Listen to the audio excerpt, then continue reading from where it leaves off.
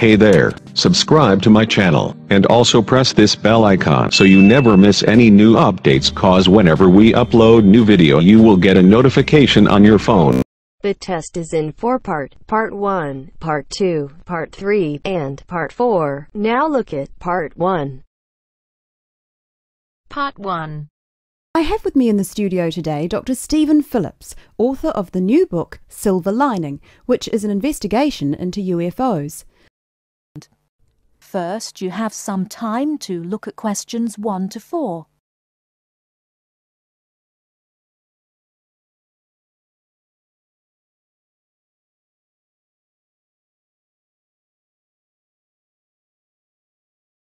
Listen carefully and answer questions 1 to 4. Good afternoon. I have with me in the studio today Dr. Stephen Phillips, author of the new book Silver Lining, which is an investigation into UFOs. Now, Dr. Phillips, can you tell us a little about your book? Yes, certainly. Over the last 12 years, I've become increasingly interested in the subject of UFOs, and this book is a compilation of all the sightings I've heard about, together with evidence. You see, so many people are convinced that there is life on other planets that I thought I would do some research myself. And what did you find? Are we alone in the universe? You sound skeptical. Well, you'll have to buy the book to find out my personal conclusion, but I can tell you this. There are a lot of sightings in a number of different countries, and the surprising fact that I have found is that despite never having met each other, a great number of these witnesses describe an almost identical object. Now, I realize that television and the media has given us all a mental picture of a UFO, a silver ship with bright lights that moves at very high speed. What interested me was that in all the eyewitness accounts I heard, people gave very precise and detailed descriptions that varied only slightly. Reports from America, Europe, even Asia, all share a significant number of similarities. hmm, interesting. Tell me, have you been able to see any evidence yourself? Well, no. My aim in writing this book was not really to present my own opinion, but to gather all the information available and collate it into a kind of reference guide. Personally, I don't have anything much to add apart from the conclusions that I've drawn from the accounts I've heard. I understand that there is a strong body of opinion that claims there is hard evidence that is being suppressed by the American government. Could you comment on that? Hmm.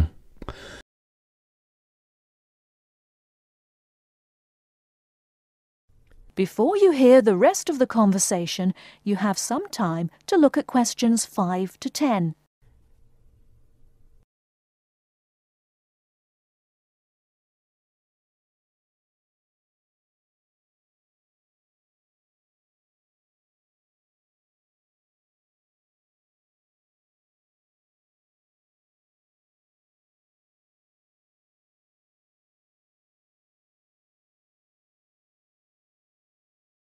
Now listen and answer questions 5 to 10. Personally, I don't have anything much to add apart from the conclusions that I've drawn from the accounts I've heard. I understand that there is a strong body of opinion that claims there is hard evidence that is being suppressed by the American government. Could you comment on that? Hmm. The second chapter of my book actually talks about a place in America that has often been in the media, Area 51. Area 51. Yes, it's a military base in New Mexico. In 1947, a man called MacBrazel claimed. Sorry, who? MacBrazel, that's M A C, capital B, R A Z E L. Anyway, MacBrazel claimed to have found pieces of an alien spacecraft on his farm in Roswell. Now, many people believe that this was true and that the government of the time took the debris. Since that time, they have denied all knowledge of any such find, and accounts by the many leading experts at the time dismissed the claim, believing that MacBrazel had actually found pieces of a higher altitude weather balloon that had disintegrated. Now, the lack of information combined with the large number of conspiracy theorists means that no useful scientific conclusion can be drawn, but I have found out one or two surprising details. Again, you'll have to buy the book if you want to find out more. Okay. Now, I understand that an overwhelming majority of UFO sightings occurred in America. Do you find that in any way relevant? Well, as I mentioned before, there are a large number of conspiracy theorists, and the popularity of science fiction programs in America could lead you to suspect that these sightings may be nothing more than an overactive imagination. However, I have found that there are a number of other factors that determine UFO sightings. In Northern Europe, the number of reports is very low, whereas in Southern Europe, where there is more open space, less light pollution, and generally clearer skies, the number of sightings increases. Now, when you consider the vast open areas of America, particularly around New Mexico, there is an argument that UFOs are simply easier to see in certain geographical and climatic situations. Hmm. Well, I've never thought of that. If I could ask you one final question, Dr. Phillips, what about alien abduction? Ah, well, I don't really cover that in my book. You see, I was looking to present facts from which people could draw their own conclusions. With these reported abductions, I've found them to be very unreliable. Well, thank you very much for your time. Before we finish, I'd just like to add that Silver Lining is available at all leading bookstores, priced at £19.99. Until next week, goodbye. That is the end of part one. You now have half a minute to check your answers.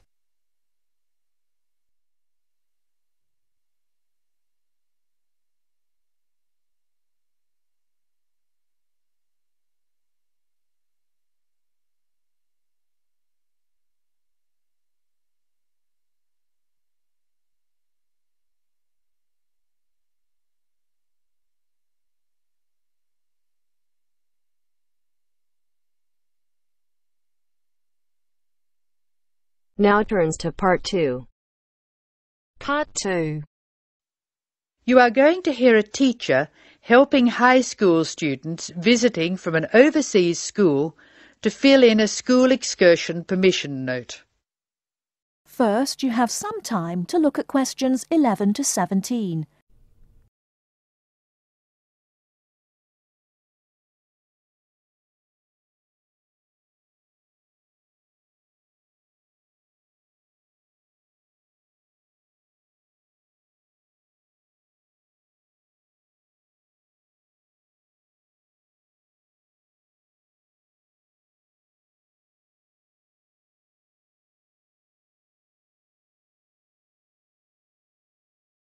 Now, listen carefully and answer questions 11 to 17.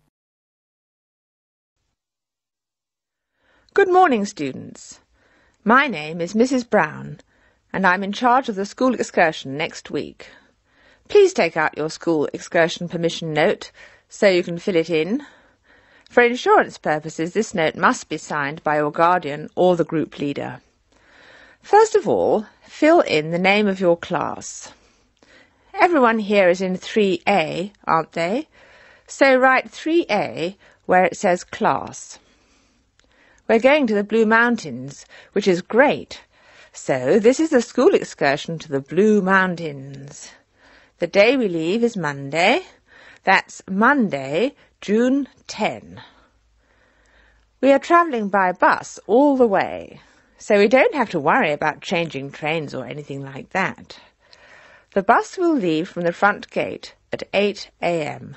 I know we usually use the side gate, but because of the roadworks we will be using the front gate when we leave.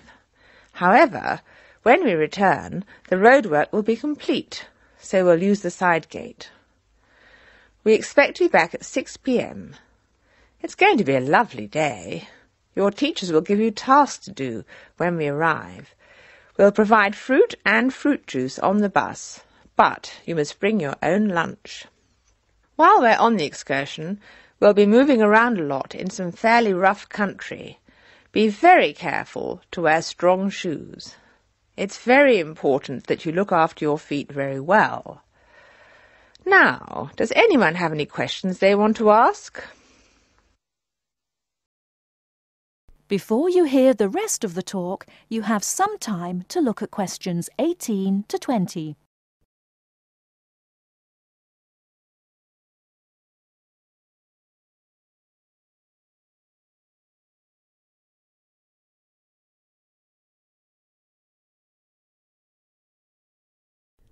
Now listen and answer questions 18 to 20.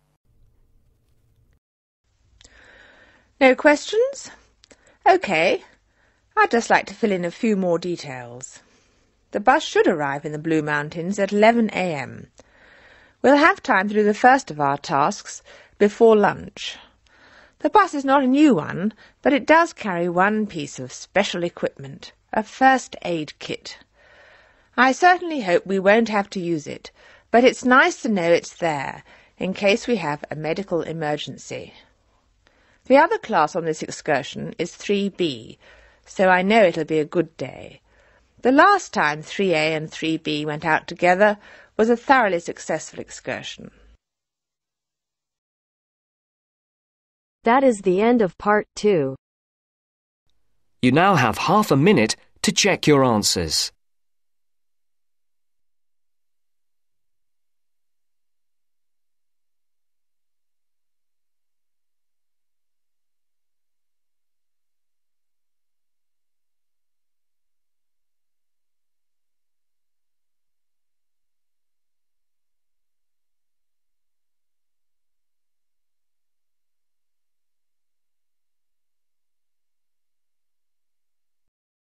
Now turns to part three. Part three. You will hear a business studies student called Sam talking to his tutor about an IT project he is going to do for a local company called Turner's.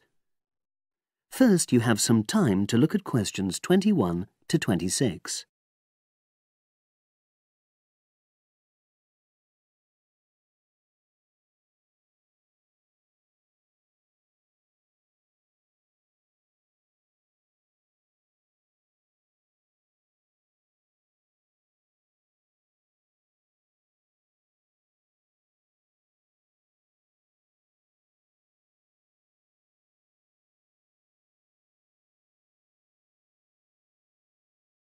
Now listen and answer questions 21 to 26. Hello, Sam. Come in and sit down. Thanks. You're here to discuss your company based IT project, aren't you? Yes, I've been to see the manager and he's given me a lot of ideas about projects that the company would find useful. But I wanted to ask your opinion about them before I choose one. Yes, that's fine. Now, this company's called Turner's, isn't it? That's right. It's a small engineering company. They make machine components for trade use. They're well established. They started in 1976, but they're a bit old fashioned. Okay. And what kind of projects did Turner's suggest you could do for the company? Well, they want some improvements made to their customer database. Uh, the one that they've got at the moment isn't very useful in some ways. I had a quick look at it. Uh, Mm. That would be a very straightforward project, and it'd be simple enough to evaluate, but I don't think you'd get enough out of a project like that. You wouldn't learn anything new. Well, another project they suggested is to do with their online sales catalogue. At the moment, customers can look at their products, but they can't actually order them online, which must affect their competitiveness. But I said I thought it would take too long. It's quite a big task. You're right, it's too much for the time you've got. It's a pity, though. Then they want some help with their payroll system. At the moment, the way they calculate pay involves a lot of manual accounting. I suggested they could have a system where employees register electronically when they arrive and leave work, so the hours they do could be transferred automatically. Hmm, I think you'd get a lot out of a project like that. It would extend your skills, but it wouldn't be too much to take on. A student did something similar a couple of years ago, but this is slightly different. Hmm. Well, then they need help with their stock inventory. They do everything manually. Really? Yes, and it takes so much time. Ugh, it's probably very inaccurate, too. An electronic inventory would probably be the biggest single benefit for the company. I'm surprised they haven't had it done before. I know. Then they wanted to improve their internal security. The manager had visited other companies where the staff use uh, swipe cards to access various areas of the building. It sounded useful, but the trouble is, I'm not really sure how to do it. Well, I think you're right in that assessment. At the moment, it's probably a bit beyond your level of knowledge. Is that all? Just one more customer service. They want to be able to collect feedback from their customers in a more systematic way. At the moment, it's a bit of a mess and they probably lose business as a result. Would that involve you going to see customers at their own premises? Because in that case, you might have to do a fair amount of traveling, and that would incur expenses that haven't been agreed with these companies. I never thought of that. Well, it might not be a problem, but it's something that needs clarifying. Well, I hope that's been helpful in narrowing down the options. Yes, it has, thanks. I'll be able to make a decision now. But while I'm here, can I talk to you about coursework? Sure. Now you have some time to look at questions 27 to 30.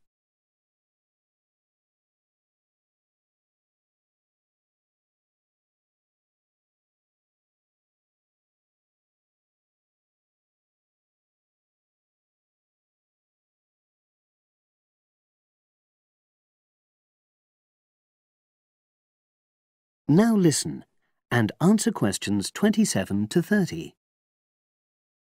I'm not very happy about the way our group assignment is working. There are some problems. Oh dear. Are people just not getting on with each other? That's the worst thing. Actually, we're all friends. It's not that. But when we're having a discussion about the assignment, one or two people end up doing all the talking and the rest don't say anything. It's a bit frustrating because we need plenty of debate. Well, that's a common observation. You're studying in a group with people from all over the world, and you all have your own ways of participating. In some places, students are more used to listening than talking, and vice versa. Mm, I suppose you're right. I'll try to remember that. Does everyone pull their weight as far as sharing the workload is concerned? I'd say they do, yes. And our group elected uh, a leader. She's very good at making sure no one's overloaded. But personally, I feel that there are just too many of us in the group. Whenever we try to arrange a meeting, there's always at least one person who can't make it. It's not anyone's fault, it's just that we've all got slightly different timetables. Well, I'm glad you've talked to me about it. Feedback is always useful. Is there anything else you're concerned about? Uh, there are a couple of problems with lecturers that all the students are talking about. Hmm. Last semester, we had negative feedback about the way lectures were organized. There were several occasions when the wrong room had been booked or the same room had been booked twice, that sort of thing. Is that still a problem? That hasn't happened at all, as far as I know. Oh, good. It's sorted out then. But I don't know the reason, but some of the staff often turn up late, so we miss 10 or 15 minutes of our lecture time. It might be because they've been copying handouts for students. I think there's a queue for the machine sometimes. Well, I'll look into that. Thank you for telling me. Anything else? The other thing is that it can be very difficult to get to see a lecturer individually. They're all very supportive and friendly when you do manage to find them, but often they're not in their office, even at times when they're meant to be available for consultation. Okay, that's helpful. Now, before you leave, uh, let That is the end of part three. You now have half a minute to check your answers.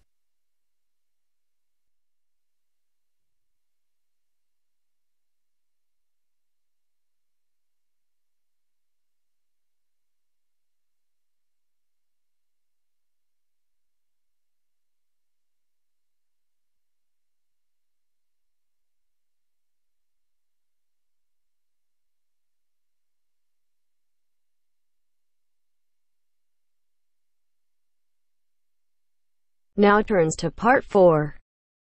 Part 4 You will hear an interview with a marketing director. First, you have some time to look at questions 31 to 34.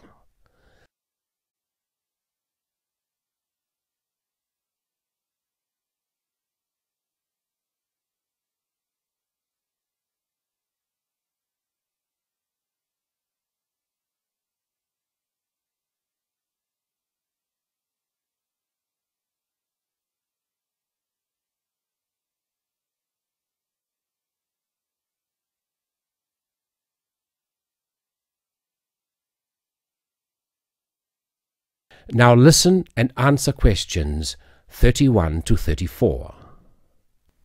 Continuing our theme of business marketing, I have with me today Mr. Brian Kinsella, who is here to talk about the differences between marketing a product and marketing a service. Good morning. Now I understand that many of you here today are interested in a career in services marketing. Well, I've been the marketing director for Oceania Travel for nearly 11 years, so I feel that I can present what I consider to be the most important aspects of marketing a service. However, before I begin, I want to clarify what I mean by services marketing. This not only means aspects like holiday destinations, but also professional services such as legal advice. In short, anyone that sells a service. Actually, a lot of the traditional services such as lawyers, accountants, etc., have not felt too comfortable marketing their services. It's almost perceived in industries such as these that the need to market indicates a weakness in the services provided. However, more and more such industries are realizing the importance of marketing to sustain their customer numbers, especially when their competitors are marketing themselves. Now, the main difference between marketing a product and a service is that the customers cannot understand exactly what the service will be. They can see a product and can comprehend exactly what the product will do for them. A service is more intangible. By that, I mean whatever each customer gains from the service is often very personal. For example, with a travel agency, clients choose to travel abroad for a multitude of motives. Some people travel overseas for the experience and really want to get to know the culture of the local people. Others wish to escape from reality, totally relax in sophisticated comfort, and be waited on hand and foot.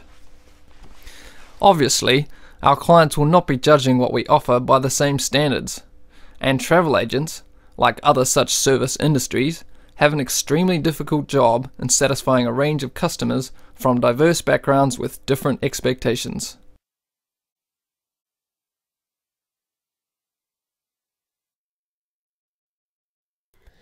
Before you hear the rest of the recording, you have some time to look at questions 35 to 40.